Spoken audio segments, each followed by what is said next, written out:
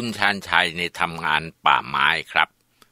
ทุกเช้าในขณะที่แกเดินออกจากบ้านจะไปทำงานในป่า หลานชายตัวเล็กๆของภรรยา ก็จะตะโกนสั่งข้อความอ่าเอาลูกนกมาให้น้องมั่งนะ พวกแกต้องการลูกนกเอี้ยงนกขุนทองเพื่อจะนำมาเลี้ยงแล้วก็สอนให้มันพูดภาษาคน คุณชานชัยก็เออเออครับครับรับปากไปส่งเดชเพื่อให้หลานหลานพอใจ เพราะว่าพวกแกสั่งได้สั่งดี สั่งอยู่ทุกเช้าจนชาชิน แต่จนแล้วจนรอด คุณชานชัยก็ไม่เคยได้ลูกนกที่ว่านั้นมาให้พวกแกเลย ตราบจนกระทั่งวันหนึ่ง ในต้นปี 2506ภรรยาของคุณชันชัยตั้งท้องลูกคนแรก ช่วงนั้นคุณชันชัยนำคนงานเข้าป่าไปคัดเลือกไม้ ป่านี้ลึกพอสมควร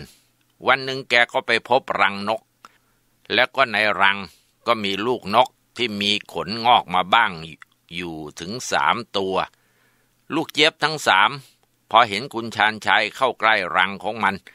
มันก็พากันอ้าปากร้องจิบจิบจับจับยิ่งตอนที่คุณชานชัยเอื้อมมือเข้าไปจับมันออกจากรังมา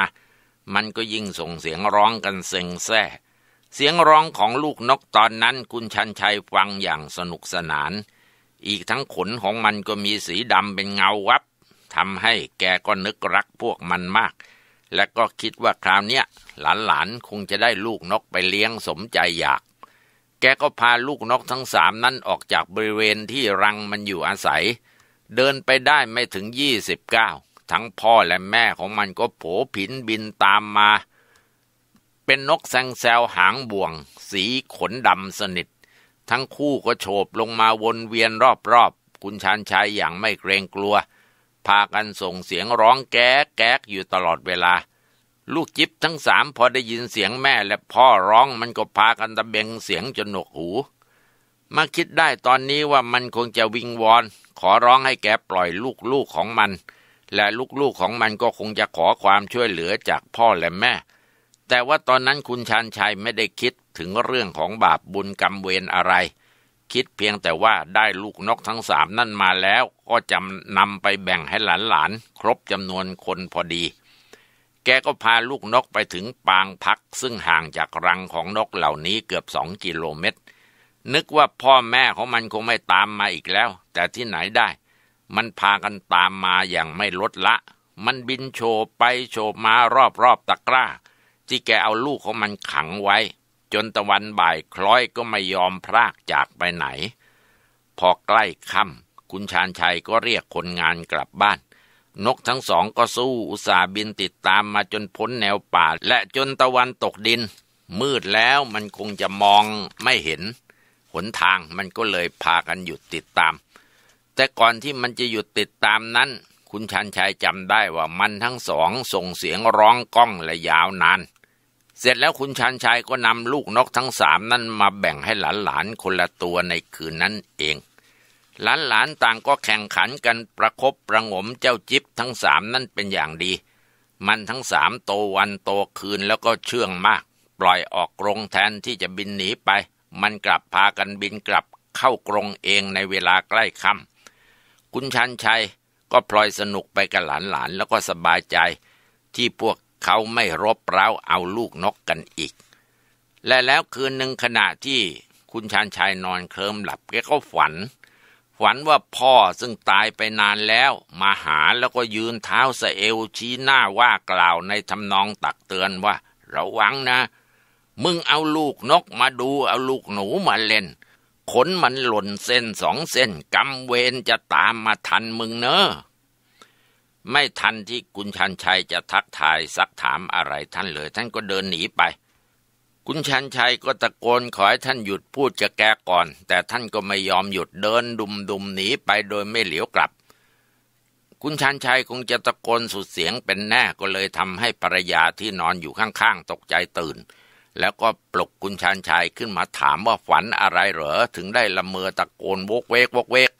คุณชันชัยก็นอนลำดับความฝันนั้นได้อย่างแจ่มชัดไม่ขาดตอนแล้วก็หลงลืม แต่ว่าไม่ได้บอกให้ภรรยาทราบคิดว่าตัวเองกินมากหลับมากก็ฝันมากไปตามเรื่อง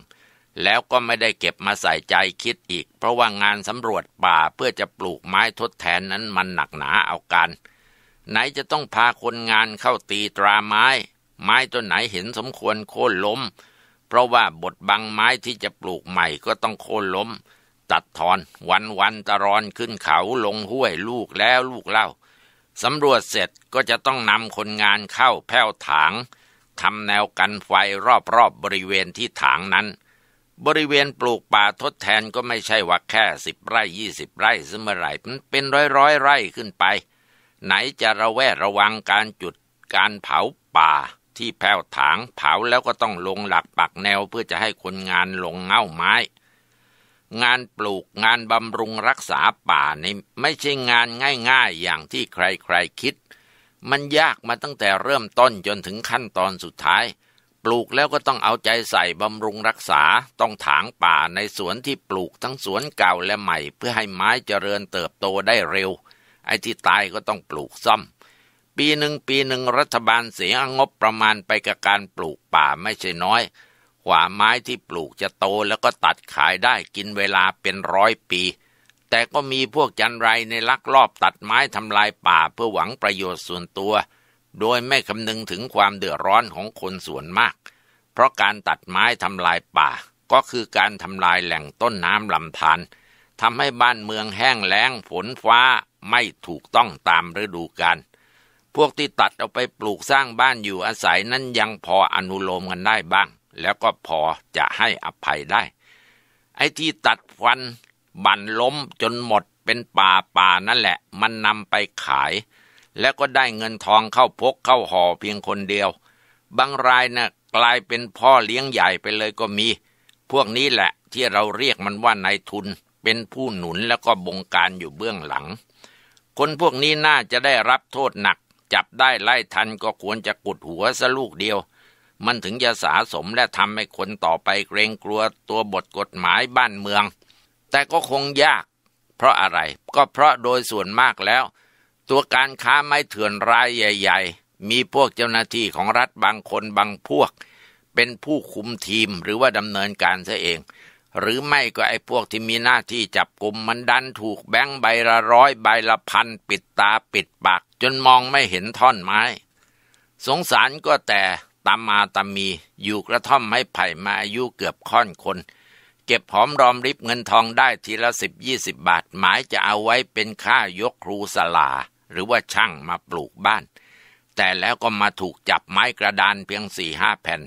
โดยที่พวกบอกว่าถ้าเสียที่นี่ก็เสียแค่พันสองพันแต่ถ้าเสียที่ศาลน่ะเสียเป็นหมื่นหมื่นตามมางี้ตาเหลือกเลย กระเสือกกระสนกู้หนี้ยืมสินมายัดใส่มือพวกนั้น คุณชันชัยบอกว่าคิดถึงเรื่องนี้ทีไรแล้วก็ปวดขมับ บ้านนี้เมืองนี้มันวุ่นวายเหลือเกิน ขอบอกกล่าวให้รู้ว่าการตัดไม้ทำลายป่านั้นมันทำลายทุกอย่างแล้วก็เห็นผลทันตาทีเดียว ก็เมื่อหกปีที่แล้วนี้แม่น้ำที่หลังบ้านของแกยังไหลไม่ขาดตอน ที่ยังเป็นวังลึกก็เป็นที่อยู่อาศัยของปูปลากุ้งกบชาวบ้านก็ได้อาศัยเป็นแหล่งอาหาร แต่บัดนี้ท้องแม่น้ำสายนี้มันก็เหลือให้เห็นแค่เพียงก้อนกรวดแล้วก็ทราย บ่อน้ำที่ชาวบ้านขุดลึกแค่สองวาสามวา ที่นี้ต้องเจาะลึกลงไปอีกเป็นสิบสิบเมตรวัวควายสัตว์เลี้ยงต่างพากันอดอยากปากแห้ง หญ้าที่เคยขึ้นเขียวชะอุ่ม ปลักและหนองที่เคยมีน้ำขัง เวลานี้ก็พากันแห้งขอดแล้วก็แห้งเหี่ยวเฉาตาย นี่แหละครับคือผลที่ได้รับจากการตัดไม้ทำลายป่ามันมีมากครับ การลักลอบนี้โดยเฉพาะอย่างยิ่งภาคเหนือตอนบนว่าอยากจะเห็นเหมือนกันว่าเมื่อไรรัฐบาลจะเอาจริงเอาจังตราตัวบทกฎหมายที่หนักๆออกมาเสียที ทีนี้ย้อนกลับมาหลังจากที่ฝันถึงพ่อไม่นาน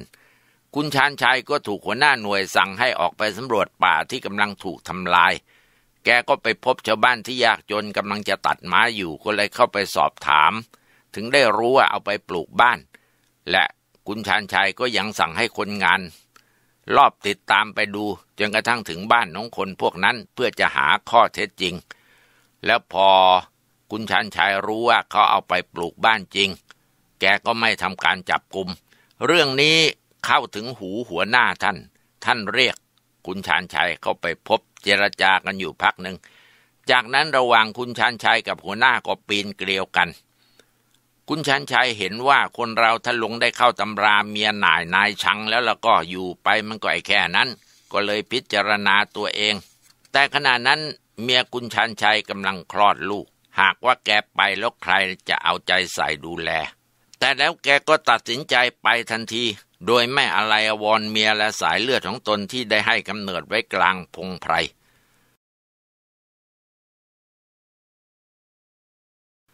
คุณชันชัยระหกระเหินเร่ร่อนหัวหกก้นหวิดไปตามเรื่อง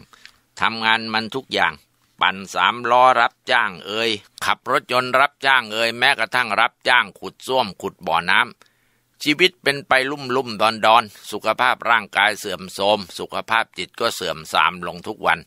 เหล้าบุหรี่ก็เลยกลายเป็นเพื่อนปลอบใจ ชีวิตเปลี่ยนแปลงไปตามวิถีและกฎของวัฏฏะ มีจนแล้วก็มีรวย มีทุกข์แล้วก็กลับสุข ไม่มีอะไรขัดขวางหรือว่ากีดกั้นกฎอันนี้ไปได้ คุณชันชัยเองก็ถูกกระแสของชั่วและดีชักพามาถึงจุด หลังจากที่แหวกว่าอยู่ในความระทมขมขื่นอยู่นานก็มาพบผ่านเอามนุษย์ที่มีศีลสัตว์เข้าได้ ถูกท่านเหล่านั้นชักพาเข้าคบค้าสมาคมกับเหล่าพุทธบริษัท นานวันขึ้นก็เลยทำให้แกได้รับรสของความเยือกเย็นจากพระธรรม จึงเป็นแสงเทียนส่องชีวิตดวงแรกที่ทำให้แกมองเห็นและรับรู้ว่าสิ่งไหนบาปสิ่งไหนบุญ นับแต่นั้นมาแกก็เริ่มปลง วางสิ่งต่ำๆเหล่านั้นลง แล้วก็ยกเอาสิ่งที่บุตรถาคตมอบให้ขึ้นแบกไว้บนบ่า แล้วก็อัดเข้าไว้ในหัวใจชีวิตความเป็นอยู่ของแกก็เริ่มดีขึ้นแล้วก็ดีขึ้นอย่างน่าแปลกใจ แกก็เริ่มแสวงหาที่ที่สงบเช่นวัดบ้านนอกที่เงียบสงัด เป็นที่พักผ่อนหย่อนใจแทนการไปมั่วสุมในครับและบาร์หรือนี่จะเป็นพระบุพกรรมของแกที่ตามมาสนองในทางที่ดีงาม ช่วงนี้แกก็ไม่ใช่จะยึดเหนี่ยวอะไรกับความสงบมากนัก ยังไม่ได้ตัดขาดจากวงเล่าแล้วก็สโมสร ถึงคราวเล่นก็ยังเล่นถึงคราวกินและดื่มก็ยังมีเพื่อนกินเพื่อนดื่ม เฮฮาสุรานารียังเห็นเป็นของสนุกสนาน จนกระทั่ง ปี 2525 คุณชาญชัยกำลังกรอบและเกรียมในด้านการเงิน บ่ายของวันเสาร์แกขับรถยนต์ไปหาพี่สาว ซึ่งตั้งร้านเสริมสวยอยู่กลางตัวเมือง หวังจะขอเงินพี่ใช้บ้าง ขณะที่ก้าวลงจากรถนั่นเองอาซิมแก่ที่เช่าอยู่ข้างห้องพี่สาวก็ก้าวเข้ามาหา พร้อมกับยื่นหนังสือขนาดพ็อกเก็ตบุ๊กให้เล่มหนึ่ง แกก็พูดบอกว่าอาคุงเอาไปอ่างนะอ่างจินจินนะ ลีจินจินนะ คุณชันชัยก็กล่าวขอบคุณแล้วก็รับหนังสือจากมือแกโดยไม่ได้ดูเลยว่าเป็นหนังสืออะไร รับแล้วก็โยนไว้ที่เบาะรถด้านหน้า เข้าไปเจรจาพาทีกับพี่สาวเรียบร้อยก็ออกมาขับรถกลับ กลับบ้านพักในสำนักงานทันที ถึงบ้านอาบน้ำชำระกายอารมณ์ผ่องใส เพราะว่ายืมเงินพี่สาวได้มาหลายใบ ถลาขึ้นเตียงกระตุกพัดลมไล่อากาศร้อน นึกว่าจะงีบสักงีบหนึ่งตื่นแล้วจะได้เข้าวงกับเพื่อนที่สโมสร แต่แล้วก็นึกขึ้นได้ว่าอาซิมให้หนังสือมาเล่มหนึ่งยังไม่รู้เลยว่าเป็นหนังสืออะไร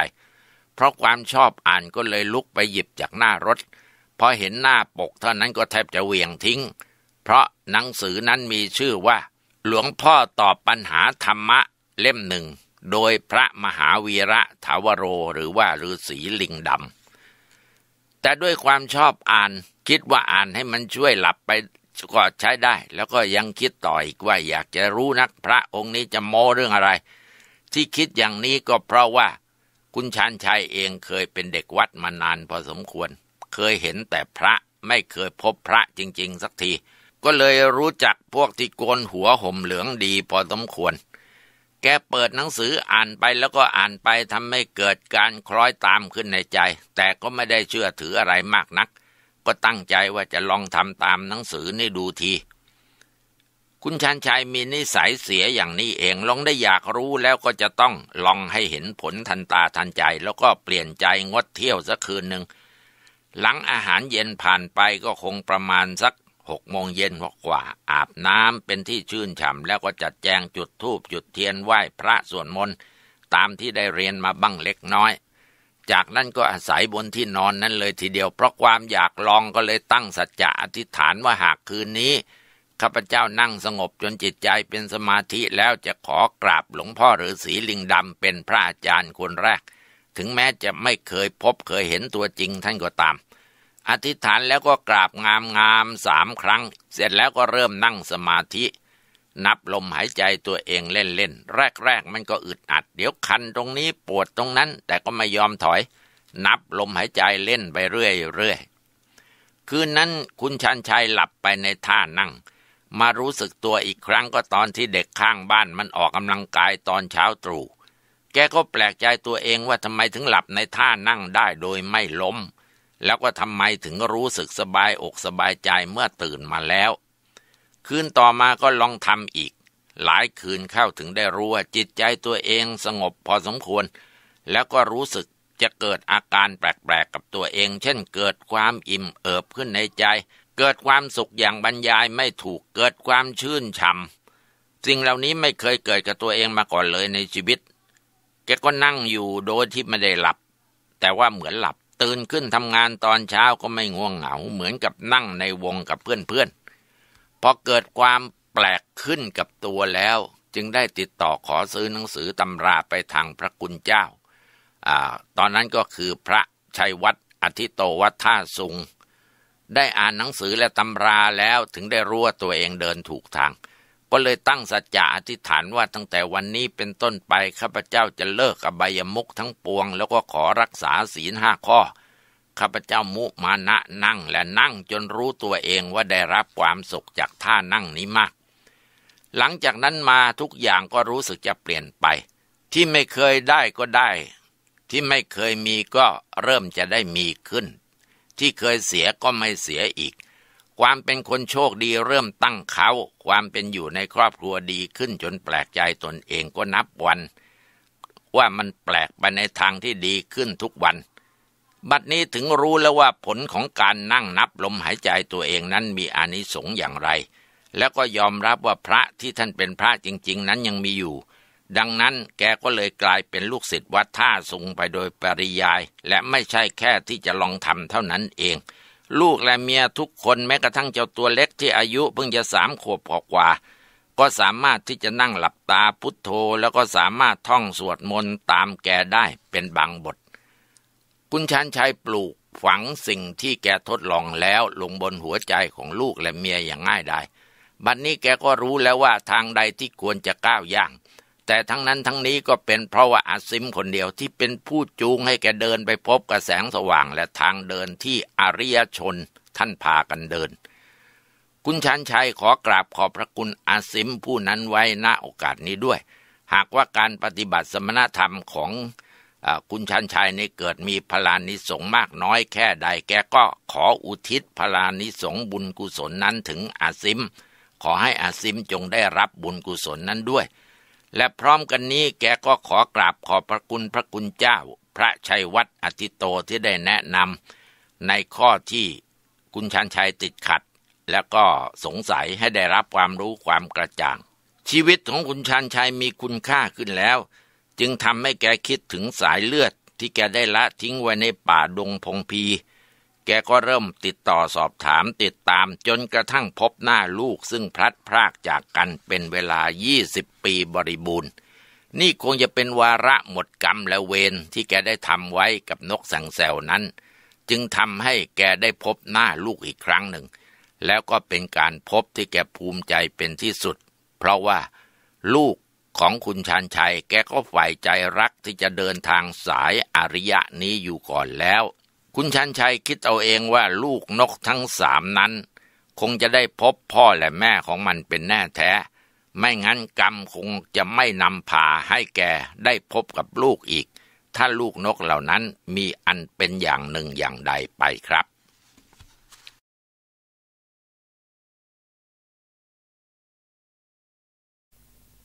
พูดถึงในชีวิตของคนเราเนี่ย ท่านผู้ฟัง บางคนเนี่ย ตลอดชีวิตไม่มีบ้านอยู่เอง ต้องเช่าบ้านก็อยู่ตลอด บางคนก็มีบ้านใหญ่โต แล้วบางคนดีกว่าที่จะสร้างบ้านได้แต่ละหลังนี่ โอ้เลือดตาแทบกระเด็น บางคนมีบ้านแล้วก็ต้องขายบ้าง หรือว่าไฟไหม้บ้านบ้างครับ กรรมนี่มันมาจากอะไร เดี๋ยวเราจะคุยกันครับ ผู้ใหญ่นี่มักจะสอนลูกหลานที่เป็นผู้หญิงนี่ให้เป็นคนเรียบร้อย ไม่กระโดกกระเดกไม่ว่าจะนั่งยืนเดินนอนก็ต้องระวังทุกอิริยาบถของเล่นที่เด็กผู้หญิงสมัยก่อนเล่นเนี่ยก็มักจะเป็นพวกหมักเก็บยีตัก เล่นขายของ การเล่นโลดโผนนี่ไม่ค่อยมี แล้วก็ถ้าเด็กผู้หญิงคนไหนเล่นของเล่นที่เหมือนของเด็กผู้ชายนี่ก็มักจะถูกผู้ใหญ่ดุว่าเป็นธรรมโมนแก่นแก้ว ส่วนเด็กผู้ชายนี่จะเล่นของที่แสดงถึงความเก่งกล้าโลดโผนใช้ความสามารถ ถ้าใครมีความสามารถจะเป็นที่ยอมรับของเพื่อนๆ แล้วก็ได้รับเลือกเป็นคนเก่งในกลุ่ม โดยที่ไม่มีใครคัดค้านเลย ของเล่นที่โปรดปรานของพวกเด็กผู้ชาย ก็เห็นจะไม่พ้นหนังสติ๊ก เพราะว่าจะได้แสดงถึงความแม่นยำในการยิง ไม่ว่าจะเป็นเป้านิ่ง หรือว่าเป้าเคลื่อนไหวทั้งใกล้ทั้งไกล ถ้าใครมีความแม่นยำในการยิงมาก ๆ นี่เพื่อนจะยอมรับให้เป็นลูกพี่เลยละ่ะ สิ่งที่พวกเด็กผู้ชายชอบยิงนี่ก็เป็นพวกนกหนูกระรอกที่อาศัยอยู่ตามสวนผลไม้ แต่ว่าผู้ใหญ่เขาจะมีข้อห้ามในการยิงไว้คือไม่ให้ยิงนก เพราะว่ากินก็ไม่อิ่ม ตัวนิดเดียวถ้ายิงถูกพ่อแม่นก ลูกนกก็ยังช่วยตัวเองไม่ได้ก็จะอดตาย เป็นการสร้างบาปสร้างกรรมให้กับตัวเองเปล่าๆ ใครยิงนกเล่นเนี่ยถ้าผู้ใหญ่รู้นี่จะถูกทำโทษว่ากล่าวตักเตือนหรือไม่ก็ยึดหนังสติ๊กไม่ให้เล่นอีกต่อไป กลุ่มเด็กผู้ชายในหมู่บ้าน ผมเวลาช่วงนั้นออกจะเป็นเด็กแก่นแก่นชอบยิงนก บางทีก็ปีนขึ้นไปเอาไข่นก หรือว่าลูกนกในรังบนต้นไม้เอามาเล่นเสมอ ทั้งที่ถูกทำโทษจากผู้ใหญ่บ่อยๆ ก็ยังไม่เข็ดหลาบสักที เผลอไม่ได้นอกจากจะเอาไข่นกหรือว่าลูกนกแล้วเนี่ย บางทีก็ยังรื้อรังนกเล่น หรือว่าเก็บเอารังนกมาเล่นอีก โดยเฉพาะรังของนกกระจาบที่มันตัวเล็ก ๆ แต่สามารถสร้างรังได้สวยงามน่ารักมาก รังนกตัวผู้นี่จะเป็นแบบหนึ่งรังนกตัวเมียก็เป็นอีกแบบหนึ่งครับ ไม่เหมือนกัน นกกระจาบนั้นมันมีความอดทนในการสร้างรังมาก มันจะใช้ปากฉีกใบมะพร้าวเป็นเส้นเล็กยาวๆ แล้วก็เอามาสารเป็นรัง ตั้งแต่ขั้วที่ยึดกับกิ่งไม้ห้อยลงมาเรื่อยๆ รังนกตัวผู้นี่จะมีที่กำบังแดดและฝน แล้วก็มีที่เกาะสำหรับนอน ส่วนนกตัวเมียนี่จะเป็นรังที่มิดชิดกว่าของนกตัวผู้ เพราะว่ามีที่สำหรับวางไข่ มีปล่องยาวสำหรับเป็นทางเข้าออก รังนี้จะสร้างไว้ปลายกิ่งไม้เป็นการป้องกันภัยจากศัตรูได้ทางหนึ่ง แล้วกว่าจะสร้างรังเสร็จแต่ละรังนี่ต้องใช้เวลามากทีเดียว มันมีความพยายามยอดเยี่ยมมากจริง ๆ เลยในการสร้างที่อยู่ แล้วก็มีความประณีตงดงามมากอีกด้วย บางคนเห็นแล้วชอบสอยเอารังของมันมา เอามาพ่นสีแล้วก็เอามาประดับตกแต่งบ้านตัวเองให้สวยงาม ไม่ได้นึกสงสารเห็นใจเจ้านกตัวน้อยๆ เลยว่า มันจะทำรังของมันขึ้นมาได้ขนาดนั้นนะว่ามันเหนื่อยยากขนาดไหน สร้างที่อยู่อาศัยเสร็จแต่ละรังสำหรับคู่และลูกของมันได้อาศัยเป็นที่นอนหลบแดดหลบฝน มนุษย์มีความเห็นแก่ตัว อยากจะได้ของคนอื่นมาเป็นกรรมสิทธิ์ทั้งที่ไม่มีสิทธิ์จะทำอย่างนั้น คิดเข้าข้างตัวเอง ทึกทักเอาของคนอื่นมาเป็นของตัวหน้าตาเฉยอ่าแต่พอตัวเองโดนเขามั่งก็ร้องทวงสิทธิ์โวยวายกันสุดฤทธิ์เลย เจ้านกตัวน้อยๆ พวกนั้นมันรักและหวงแหนในของที่เป็นของมัน ไม่ว่าจะเป็นไข่เป็นลูกเป็นรังหรือว่าคู่ของมัน ใครมาทำลายหรือว่าพรากสิ่งอันเป็นที่รักมันก็จะต่อสู้ป้องกันเท่าที่กำลังและความสามารถของมันจะทำได้ อย่างเช่นไข่หรือว่าลูกอ่อนที่อยู่ในรัง เวลาที่มนุษย์หรือว่าสัตว์อื่นจะเข้าไปยื้อแย่งเนี่ยมันจะส่งเสียงร้องหรือว่าจิกตีเป็นการป้องกันไม่ให้ศัตรูเอาของของมันไป แต่ก็มันก็ไม่สามารถจะสู้กับมนุษย์ หรือว่าศัตรูที่มีกำลังมากกว่าได้ พวกเด็กแกนๆที่พูดถึงทีแรกเนี่ย ชอบเล่นเกมในการยิงนก ยิงรังนก หรือว่าเอาลูกนกมาจากพ่อแม่มันอยู่เสมอ โดยแอบทำไม่ให้ผู้ใหญ่รู้ ถ้าใครไปฟ้องผู้ใหญ่นี่จะถูกไล่ออกจากกลุ่มทันที พ่อแม่นกที่คอยป้องกันลูกของมันบางตัวก็ตายเพราะถูกยิงด้วยหนังสติ๊ก บางตัวก็พิการปีกหักมั่งขาหักมั่ง แล้วต่อมาเด็กกลุ่มนี้ครับ เติบโตเป็นผู้ใหญ่ ประกอบอาชีพและต่างก็มีครอบครัวกันไป แต่ชีวิตของพวกเขาพวกนี้นี่ไม่มีความสุขเท่าไหร่เลย บางคนไม่มีบ้านเป็นของตัวเอง พอสร้างขึ้นมาเสร็จแล้วก็ถูกไฟไหม้บ้าน ไร้ที่อยู่อาศัย บางคนไม่มีที่ดินเป็นของตัวเอง อาศัยปลูกกระท่อมบริเวณคันคลองส่งน้ำ พอเขาจะขุดลอกคลองก็ต้องรื้อถอนกระท่อมหอบพิ้วลูกเมียไปหาที่อยู่ใหม่ บางรายพ่อแม่ลูกไม่ได้อยู่ร่วมกัน ต้องแยกกันอยู่คนละทิศคนละทาง เพราะความยากจน ต้องอาศัยอยู่กับญาติพี่น้องคนอื่น ๆ พ่ออยู่บ้านแม่กับลูกอยู่อีกบ้านหนึ่งอาศัยอยู่รวมกันไม่ได้ เพราะว่าจะเป็นภาระแก่ญาติพี่น้องที่จะต้องเลี้ยงดู มีชีวิตที่ต้องทุกข์ทรมานทั้งทางกายแล้วก็ทางใจยิ่งนัก พวกนี้มาคิดได้ภายหลังว่าที่มีความเป็นอยู่กันอย่างนี้ คงจะเป็นเพราะเมื่อตอนพวกเขาเป็นเด็กนี่ชอบพรากลูกนกมาจากพ่อแม่มันทำให้พ่อนกแม่นกลูกนกต้องอยู่คนละทาง เหมือนกับเขาและลูกเมียต้องแยกกันอยู่ ส่วนคนที่ไม่มีที่อยู่อาศัยก็เป็นเพราะชอบรื้อรังนกเอามาเล่น นกพยายามจะสร้างรัง แต่ว่ามันก็กลับเป็นผู้ทำลาย สิ่งที่พวกเขาได้รับอยู่ในขณะนี้ก็เป็นข้อคิดข้อเตือนใจให้เห็นว่าใครก่อกรรมสิ่งใดไว้กรรมนั้นจะตอบสนองเสมอ ช้าบ้างเร็วบ้างไม่มีใครหนีกรรมที่ก่อเอาไว้ได้เลย กรรมที่ก่อไว้แม้จะดูเป็นเรื่องที่ดูว่าเล็กน้อยสำหรับมนุษย์ที่ชอบคิดเข้าข้างตัวเอง แต่อย่าลืมว่าผู้ที่ถูกกระทำจากเราเนี่ยถือเป็นเรื่องใหญ่สำหรับเขา เพราะว่าเขาเป็นผู้สูญเสีย ได้รับความทุกข์ยากเดือดร้อนขาดที่อยู่อาศัยพลัดพรากจากสิ่งอันเป็นที่รักยิ่ง ตอนที่